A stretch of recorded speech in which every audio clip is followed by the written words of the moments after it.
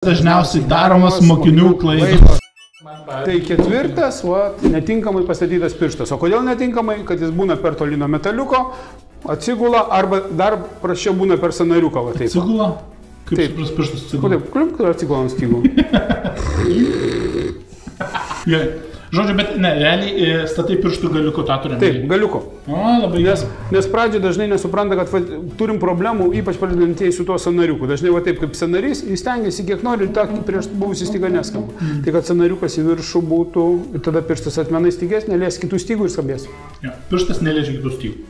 Tiksliai pastatytas ant stygų. Jei dar nemokate groti gitarai norėtumėte išmokti ir patobulinti savo turimas žinias, apačioje matysite nuorodą, kur galite pasirinkti nuotolinius mokymus, interaktyvią knygą įsigyti arba individualias pamokas.